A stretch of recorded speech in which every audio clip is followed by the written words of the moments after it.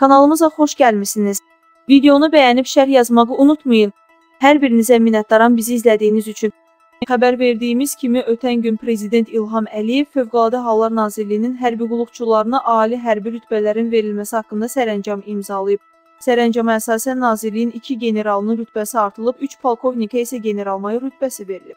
Qafqaz Info bu məqamda rütbələri artırılan FHŞ-nin yüksək vəzifəli zabitləri ilə bağlı məlumatları təqdim edir.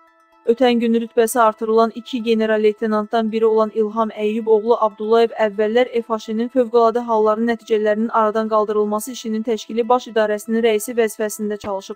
Elə general-mayor rütbəsini də bu vəzifədə ikən alıb. Bu 2006-cı ilin dekabrında baş verib. O hazırda FHŞ-nin mülki müdafiə qoşunlarının komandanıdır.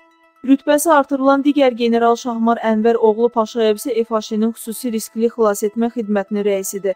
O, FHŞ-nə 2015-ci ildə kiçik həcmli gəmilər üzrə dövlət müfəttişliyinin rəisi kimi gəlib.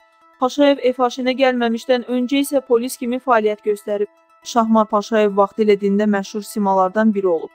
Şamaxının polis rəisi ikən istefa verən Paşayev Naxçıvan şəhər polis idarəsinin rəis müavini rəisi, Xətai rayonunun 34, 37 bölmələrinin rəisi, Yasamal polis idarəsinin rəisi, Bakı şəhər polis idarəsinin rəis müavini, Şirvan və Salyan rayonlarının polis rəisi vəzifələrində də çalışıb.